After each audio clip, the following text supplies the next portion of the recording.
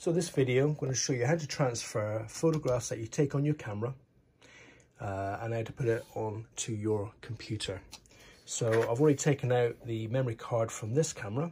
Uh, this is a card reader, so it takes different memory cards. And once it's fitted into this, I'm going to plug it into my USB extension, but you can plug it into your computer, you know, um, any USB.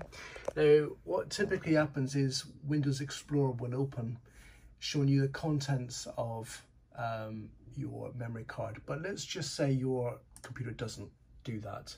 What you want to look for is this icon here, this PC. If you don't have the icon on the desktop, then you want to go down to the Windows Explorer icon and open that one. And then on the left hand side, I've got a lot of photos, so ignore that. That's just the way my computer is set up. Uh, look for this PC here, right? And then click on that. That will then give you the contents of your computer's hard drives and DVD drives and so on. Now again, my computer's got a few hard drives plugged in. So here's my memory card. So we want to go into that memory card and here we are. We now got the same photos that originally showed up when I plugged in the memory card. So usually your photographs will be in a folder called DCIM, Digital Camera Images. Go into that and it's going to be in one of these two folders. I happen to know it's in this folder and there's the photograph there.